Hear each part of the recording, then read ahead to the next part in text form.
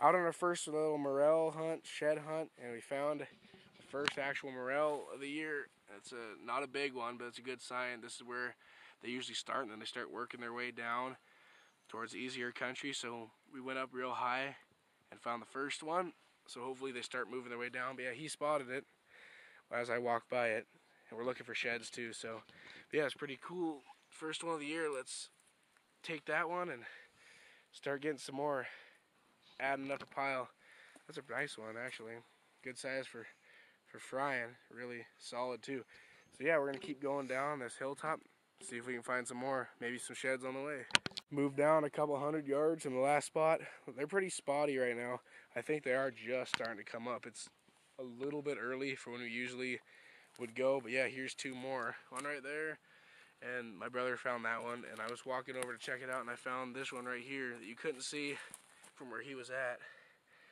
So yeah, we got two more to add to the pile for the day. They're not big at all, but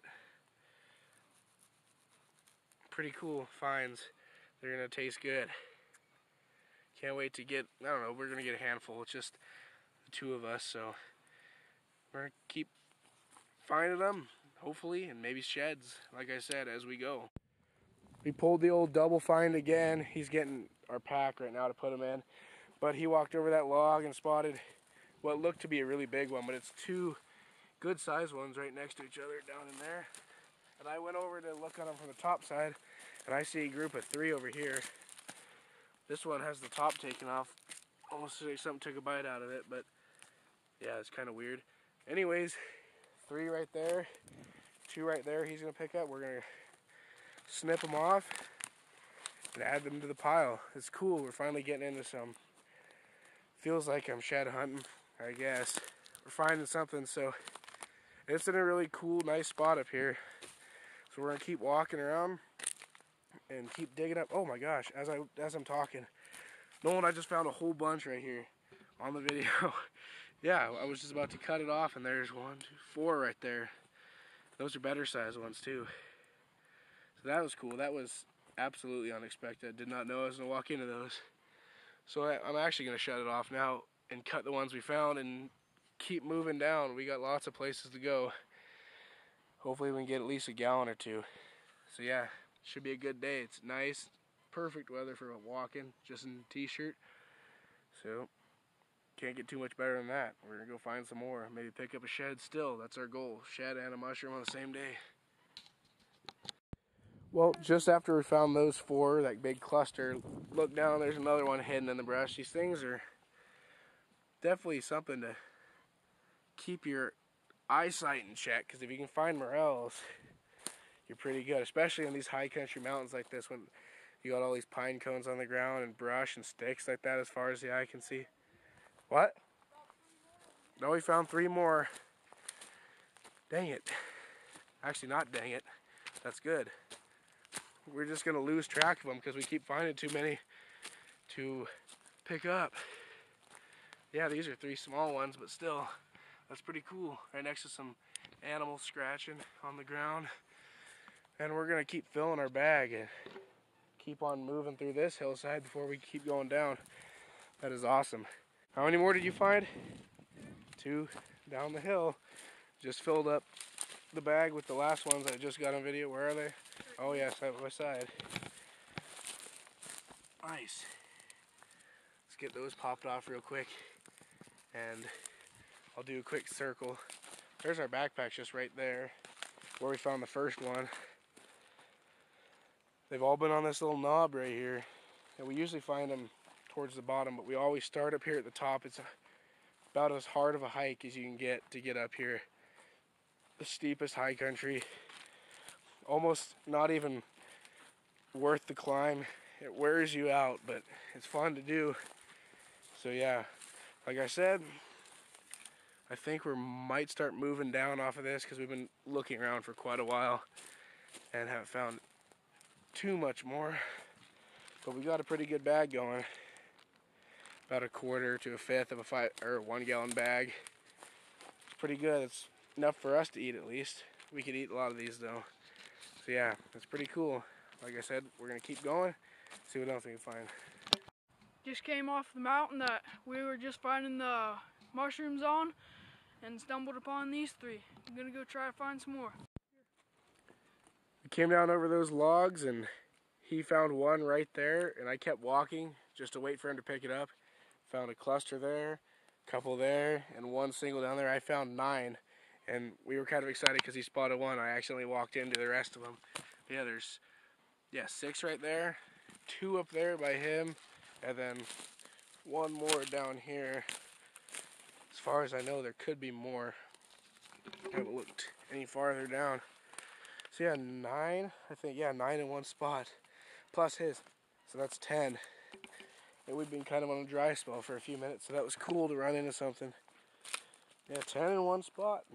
That's a pretty good little stumble on right there. We'll keep going down, like I said. Keep picking them up, hopefully. I just walked down from where I found that cluster nine.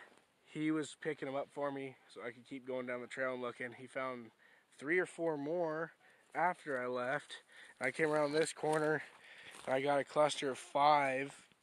Yeah, five it looks like. No, wait a second. There's one I missed. Six.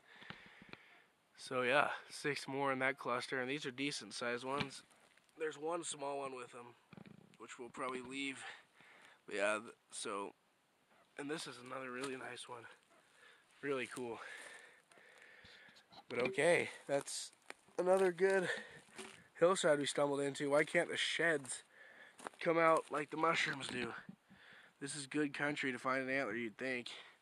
It's steep, it's hard. It goes straight down over that side to where we're parked. And we have, took us two and a half hours to hike up here. No roads in the way, no four-wheeler trails, nothing but mountain, untouched. But we got the mushrooms really good. So, we'll fill our bag with these and see how close we're getting to the gallon mark. And that'll determine how much more we need to pick up before we can call it a successful trip. It's successful anyways, but just cool to fill that whole bag up. Well, we came around the corner and I was walking over there. He was walking right up here and he spotted the biggest morel of our trip so far. It's right there behind that bush. It's a big one, for here at least. Not huge, huge by any means, but look at that thing. It's a big one. Biggest one of the trip and it's in perfect shape. That's a good way to wrap it off if we don't find any more because we're kind of working our way out of the area. So if we don't find any more, that was an excellent end to it. But yeah, we're going to keep trying like always. And uh, our bag's almost full, so that's good. There it is. Almost to the top. That's a lot we got. So we'll keep heading. We're going up and down through all these rolls and the hills trying to make it back. You never know what we will run into. So we're going to keep on going. Well, I think this is going to be our last finds for the day. We're almost back to where we started. We just have one heck of a drop to go over, but we're close. And we didn't find anything on the way up, so this is most likely to be our last finds just because it's at the right level still. But I walked down that way. He spotted this group of three, and then he spotted that one. And I came up to him to look at them, and I spotted two right there. I looked way up the trail, and I spotted the last one this is this big one. And then right back there in the trees, I just walked by it. There's a little one. So yeah, quite a few in one spot. Anyways, that's gonna wrap it up.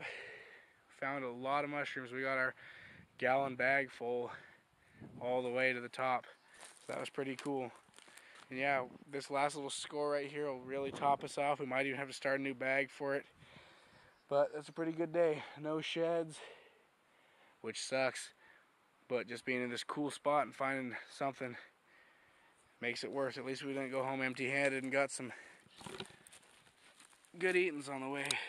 So we're just gonna get these out and then uh, put them in the bags. I think we have like what 10 right here. I think I counted. I might be a little off, but about 10 in the spot we're gonna pick up and add to the bag and then head right down to the creek where we started and it'll be a good end of the day nice little score right before the end so yeah thanks for watching see you guys on the next video maybe some more mushroom hunting. I don't know when the next time it'll be. Probably in a week or two, depending on what time we get out. And maybe some more shed hunting. We're always looking, never know. And then fishing. So, a lot of cool things gonna happen here soon. So yeah, it's pretty fun. Good finds. We'll head down and call it a day. Thanks for watching.